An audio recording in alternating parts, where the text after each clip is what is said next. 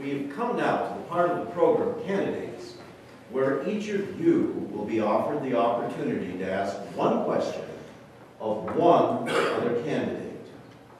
That candidate who is questioned will have three minutes to respond. The question itself will also be timed. The question must be no longer than one minute in the asking.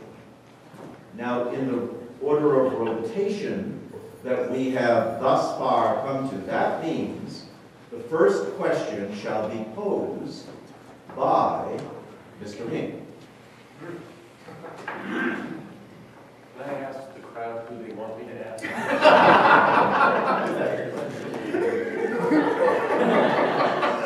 Your one question was directed to everybody in the audience. You know everyone didn't come here because they couldn't afford to heat their house. Um, I'm on that subject, and I've heard it brought up over and over again, so my question goes to my colleague, Cynthia Dill. I'm uh, still feeling the vote from several years ago when we were putting in place for the first time in Maine, energy building codes. And uh, and my way of looking at it, when um, buildings are built under standard for energy attributes, this is precisely what you get, a cold and drafty room. And then a lot of times it is the poorest people that pay the consequences. They become dependent on lighting. Time. And you conclude the I agree. Why did you vote against energy building codes? Uh, Well, thank you for that question. And um, my recollection um, is, uh, I I think the same energy building code bill has been subsequently changed by the Republican majority. But initially, in the legislature, weakened. Um, In the legislature, when I arrived, I had come from the People's Town Council. And in my community, we were very proud of the way we managed our um, affairs. And at the time, the energy building code struck me as sort of a mandate on towns to, uh, to take steps that some towns weren't in a position to take. Um, Do I now agree that a uniform uh, building code is a good idea? I do. Um, And do I support it? I do. Uh, But I did cast my vote at the time because my community, uh, who I was representing, um, voiced concern that this was just another kind of unfunded mandate from the state to tell towns how they should uh, do things, and in their view, things were going just fine. We had actually already adopted an energy building code, and didn't see the need to have the state step in and tell uh, small communities uh, what to do. So, that may or may not uh, satisfy you, but that, that's the I explanation. like, I like the change part of it. Yeah, the change. Does that conclude your answer as well? Mr. Yes, it does, thank you. Thank you very much. Now, Mr. Pollard, you're next in line to, as candidate, to ask a question, no longer than one minute in length, of any one other person on the panel, who will then have three minutes to answer. Mr. Pollard, your time begins. You're everything about it. My question is for you, Secretary Dunlap. Uh, We've become friends in a short period of time, and I'm very happy that, as I can say, the collegial atmosphere of this race, we're all, yeah, we've been, known Jon for several years, getting to know some Joe, so we're getting to know better. Um, And so as uh, someone, my question has to do with campaign finance. And I mentioned that I voluntarily limited my campaign contributions to hundred dollars. Um, I would like to know what would you do as a United States to reform campaign finance? Um, In particular, what do you, what do you think about the Citizens United decision and what actions would you take regarding that? As well as just the role of political action committees and what would you think a clean election would look like? Do current campaign finance laws, this is more than one question, I'm sorry. but, uh, How, how would you reform campaign finance law? How would you reform campaign finance law? That's my question. Well, thank you, Mr. Pollard, for the question. And I applaud you for taking a stand that you have and limiting your contribution that you're accepting to hundred dollars. As many people do not know, the individual limit that anybody can give in a cycle is twenty-five hundred. For those of you wish to make positive change for America, and you have an additional twenty-four hundred dollars after contributing to Mr. Pollard's dunlappersimmon.com for your energy and interest. Um, But, but to answer, you know, to answer directly the question, I, I am deeply troubled by the Citizens United decision. Uh, We've done an awful lot in the state of Maine uh, to improve our campaign finance laws, which have changed quite, quite rapidly here over the last, oh, 15, 20 years. Uh, There was a time when party committees had unlimited ability to contribute uh, entire campaign war chest to House and Senate members of the state legislature, and the- and the legislature made some very affirmative moves to to stop that.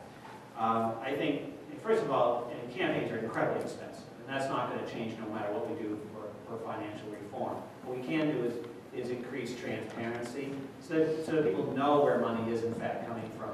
And right now, because of the Citizens United decision, it's harder and harder to know where, who is actually bankrolling candidates, and, and for that matter, in turn, whose interests those candidates will represent once elected.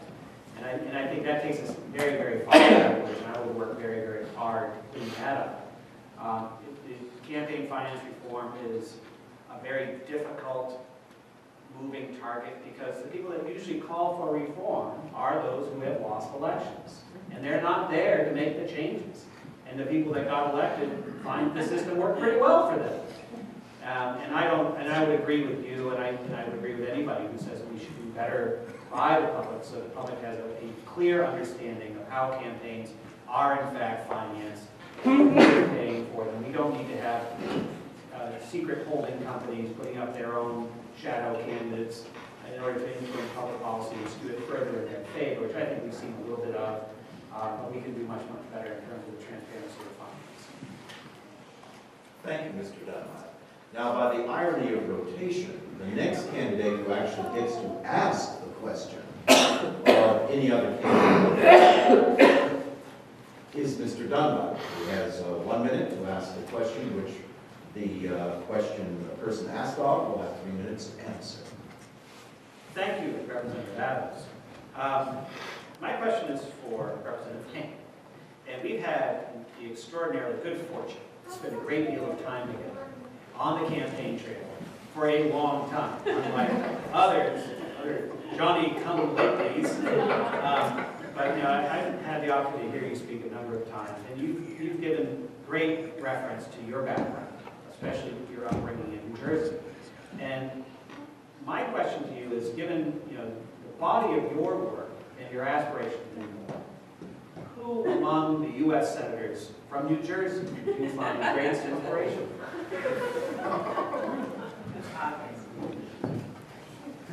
My best slogan for this race, at least New Jersey is closer than Virginia?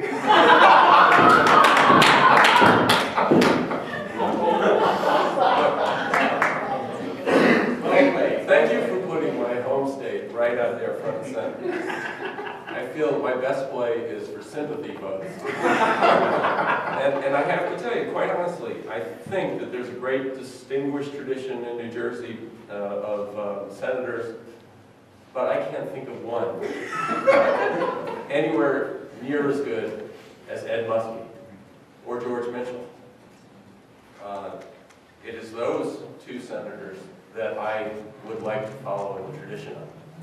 I, I do think, rem- uh, remarkably enough, a former NBA player who went to the U.S. Senate from the NBA, Bill Bradley, did a pretty good job. And he had the greatest campaign ad I've ever seen. I'll, I'll, describe the ad. It was the Capitol, late at night. There's only one light on somewhere, the Capitol. The camera goes to that light. It goes inside the room. And there at his desk is Senator Bradley, working, obviously late at night when no one else is. He's reading papers, he's going through them.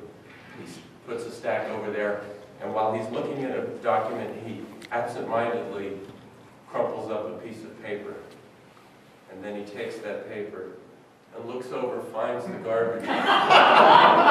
tosses it, And it goes perfectly into the basket. Not a word spoken.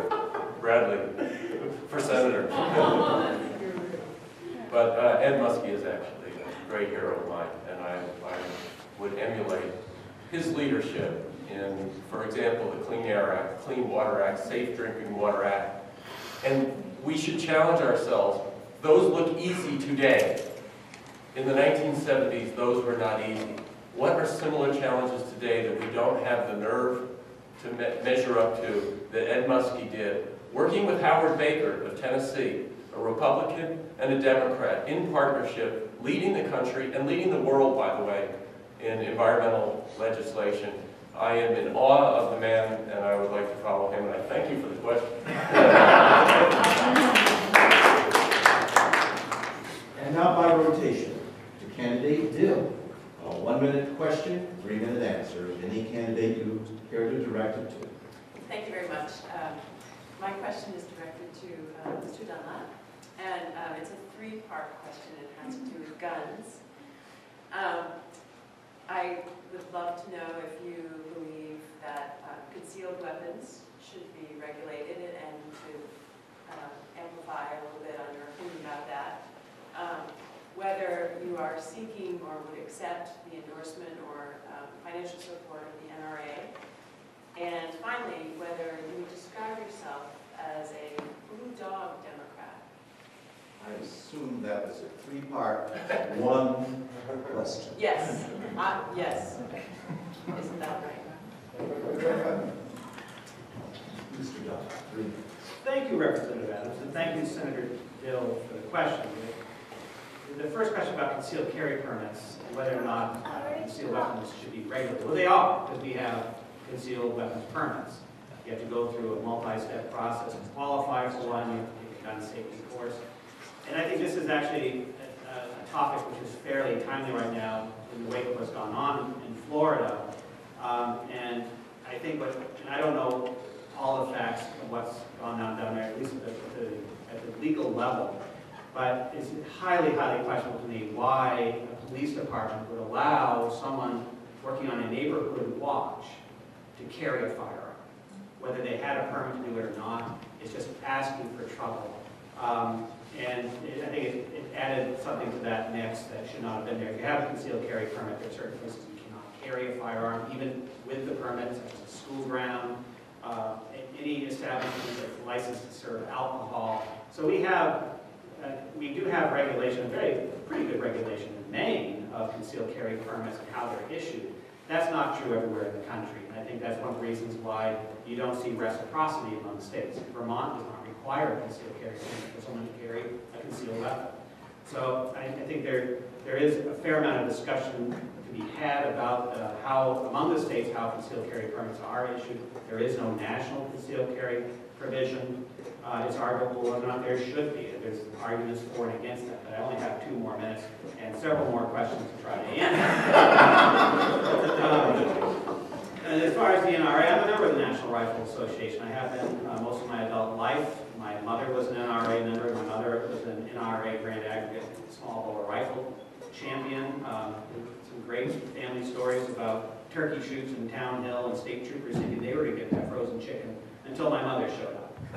Um, So, uh, you know, I I would accept financial assistance from the National Rifle Association. I am a Second Amendment person, and I believe in the right of the citizenry to legally obtain and, and use their firearms in accordance with all state and local regulation. Um, It's an interesting, the question about being a blue dog is an interesting one, because I believe that my credentials as a Democrat are as strong as anybody at this table. I support a woman's right to choose, I support marriage equality, I support the government's role in making our environment safe, I support free and free education in the public school systems. I support so many things that the Democrats have fought for and stood for. And yet I get asked this question quite frequently. Can you not be considered a moderate centrist Democrat? And why is that? Because I have rifles and I go hunting. That's what makes me a centrist blue dog Democrat. And I guess I'll take that. Uh, but being from rural Maine, I understand this is, a part of the firmament of our outdoor heritage, and I will stand to support it, and I'm not going to